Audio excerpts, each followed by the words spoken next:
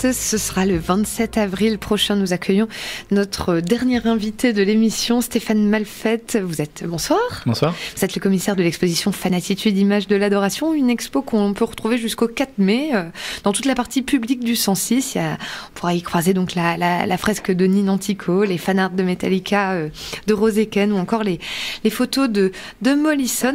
À travers, euh, première question, à travers toutes ces pièces, vous vouliez suggérer les, les différents caractères de fans. Est-ce qu'on pourrait en quelques, en quelques mots les, les, classer, ces fans? Je pense que déjà on est tous fans de quelque chose. Après il y a une différence de, de degré quoi. C'est vrai que entre euh, la façon dont on peut apprécier quelque chose et puis euh, la façon dont Paul MacLeod, euh, qui est présent dans l'exposition à travers une vidéo d'Arnaud Maguet, et le plus grand fan d'Elvis Presley, alors autoproclamé. Hein. Euh, bah, il y a une différence de degré, mais finalement c'est un petit peu la même chose qui nous anime, quoi. Et heureusement qu'on est tous fans de quelque chose, sinon la, la vie euh, serait un peu moins intense, je pense. Et du coup, alors ces fans-là, est-ce qu'on peut dire que euh, euh ils sont des sortes d'extensions de, de, des différents euh, euh de l'univers d'un artiste et donc la projection vivante de leur de œuvre en vrai, dans la réalité, en dehors des scènes, quoi? Ouais, mais euh, sauf que oui, c'est une extension, mais qui est pas forcément euh, contrôlée ou, assumée. Alors, euh, euh, je sais pas si, par exemple, il y a un artiste qui a honte de ses fans. Je sais, je sais pas, ce serait intéressant de demander. En fait, moi, quand j'ai eu l'occasion de faire des interviews, des fois avec avec des musiciens plus ou moins connus, j'aimais bien leur demander, mais en fait, qui sont vos fans? Pour savoir un petit peu si. Et c'est vrai que c'est marrant parce il y, a, y, a, un truc que j'aime beaucoup dans l'expo, c'est les, les fans de Bob Dylan, par exemple, qui sont photographiés est représenté par, euh, James Mollison. Euh, parce qu'en fait, Bob Dylan, il, aime d'une certaine manière, c'est pas qu'il aime pas ses fans, mais il aime pas le, concept de fan. Euh, et en même temps, il a des fans. Donc voilà, c'est à la limite, c'est à l'insu de son plein gré, il a quand même des fans. Et je pense qu'il suscite ça aussi et tout. Donc euh, en fait, c'est pas c'est pas forcément tant l'extension de ce que représentent les fans par rapport à leur star, c'est comment ils Bon, déjà, comment ils permettent à cette star d'exister d'une certaine manière, hein, parce que Elvis, le premier, a, vraiment valorisé ses fans, parce que disait, sans mes fans, je suis rien. Mais aussi, comment euh, ces fans réinterprètent ou font vivre ou créent autre chose à partir de, à partir de ce que sont ces, ces stars. Quoi, ils augmentent plus que... Bah, ils augmentent, ils déforment, ils imaginent, hein, parce que par exemple on présentera euh, de mémoire, c'est le 2 mai, un super euh, documentaire sur les fans de Dépêche Mode.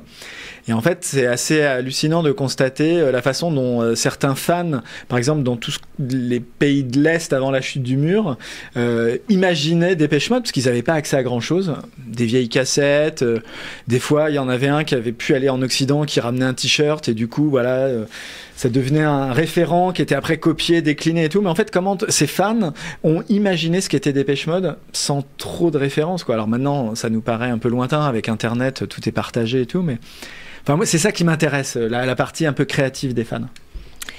Vous l'évoquiez, Fan Attitude, c'est aussi l'occasion de, de, voir des films, d'assister à des conférences. On a reçu euh, Sylvain Vano en, milieu d'émission. Cette rencontre sera suivie de la projection de I Am a Genius, un film donc d'Arnaud Maguet qui a passé quelques jours à Nashville avec les musiciens toulonnais d'Iffy Club pour y tourner un documentaire sur Stevie Moore, qui est le pionnier du home recording et véritable gourou de, de la Lofi. Alors pourquoi avoir choisi ce film et qu'est-ce qu'il dit sur les fans? En fait, ce film, on l'aurait peut-être pas présenté comme ça euh, en tant que tel, mais c'est parce que ça, il fait partie du corpus euh, artistique de Arnaud Maguet. On présente trois autres pièces euh, de cet artiste qui fait partie ces gens qui, qui, qui, sont inspirés en permanence par le rock et qui est artiste plasticien, mais toute son œuvre est une évocation de ce qu'est le rock pour lui. Donc euh, on présente les meeting points euh, des Beatles, euh, on présente la vidéo de Paul McLeod dont je parlais, les affiches de fans qui ont été présentes dans la ville et puis sur, la, sur la grande palissade.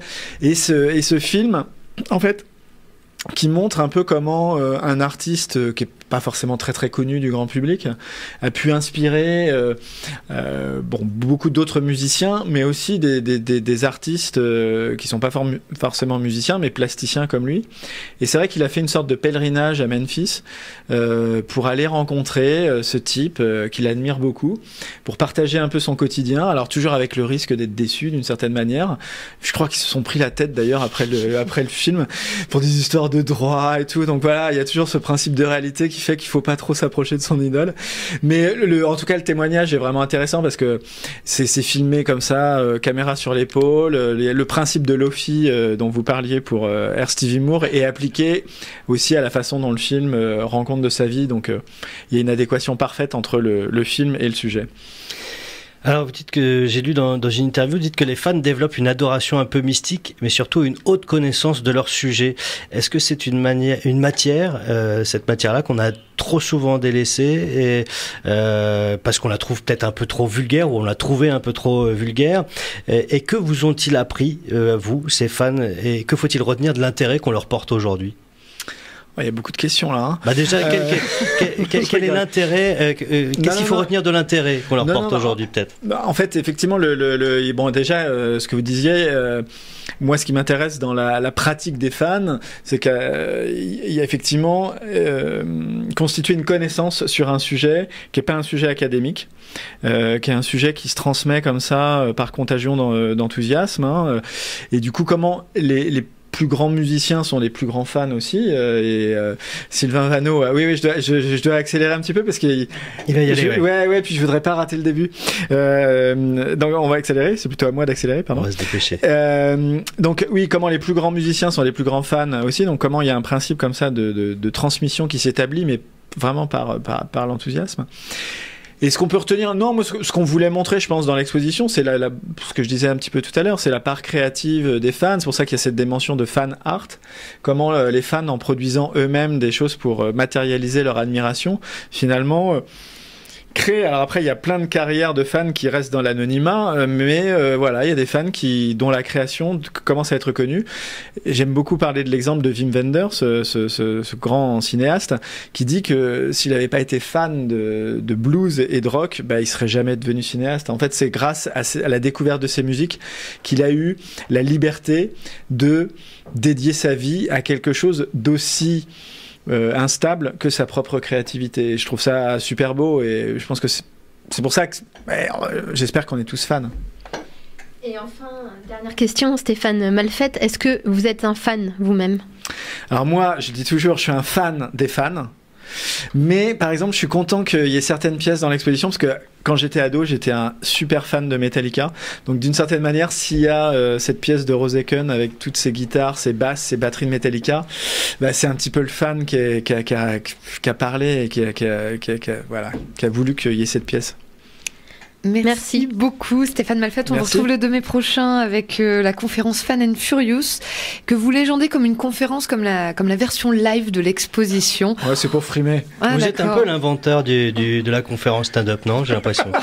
Mais c'est pas mal. Je hein, vais rester dans l'histoire comme étant l'inventeur de la stand-up conférence. Oui, c'est ça, ouais.